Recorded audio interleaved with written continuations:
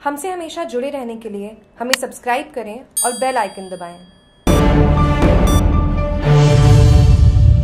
पुड़ोल पंचायत में ठोस व तरल कचरा प्रबंधन हेतु पैंसठ लाख की डीपीआर स्वीकृत भारत मिशन के तहत ओडीए प्लस हेतु सभी पंचायत में डीपीआर तैयार हो रही है। इसी क्रम में विकास अधिकारी भुवनेश्वर सिंह चौहान के निर्देशन में पंचायत समिति द्वारा गठित दल द्वारा पैंसठ लाख रुपए की डीपी और तैयार की गई है। चौहान ने आज ग्राम के जन प्रतिनिधियों के साथ पुडोल और भूडान गाँव के सभी गली मोहल्लों का भ्रमण किया। गाँवों में गड्ढे नाली निर्माण, आरआरसी निर्माण स्थल के मौका मुआयना किया। चौहान ने बताया कि पुरोल पंचायत में तीन किलोमीटर से अधिक नाली निर्माण प्रत्येक गाँव में एक एक आरआरसी निर्माण, तीस से अधिक सोक पिट सभी ग्रामीणों में सामुदायिक सोखते गड्ढे, सभी ग्रामों में सामुदायिक सोखते गड्ढे, सभी गाँव में एक एक ई रिक्शा स्वीकृत हेतु डीपीआर बनाई गई है। सहायक विकास अधिकारी राजेश जोशी ने बताया कि आगामी 20 जनवरी की कोरम बैठक में अनुमोदन पश्चात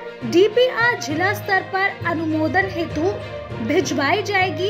इस अवसर पर ग्राम विकास अधिकारी जोगेंद्र शर्मा, पूर्व सरपंच खुन सिंह मुंदावत, कनिष्ठ सहायक नारायण दास, वैष्णव, पंचायत सहायक भगवती सिंह नाहर सिंह, वीरेंद्र सिंह, वार्ड पंच हेमंत वैष्णव, रामलाल गुजर, उप सरपंच महेंद्र सिंह उपस्थित थे। भूडान में किया शौचालय निर्माण कार्यों का निरीक्षण। चौहान ने भूडान में नोबल के तहत स्वीकृत शौचालय निर्माण कार्यों का निरीक्षण किया और कार्य शीघ्र पूर्ण करने के निर्देश दिए। पुडोल में नरेगा निरीक्षण भुवनेश्वर सिंह चौहान ने पुडोल में नरेगा निर्माण कार्य का निरीक्षण किया और पूरा काम, पूरा दाम योजना से जोड़ने के निर्देश दिए। जागरूक टीवी के लिए राजसमंद से नरेंद्र सिंह खंगारोत की रिपोर्ट।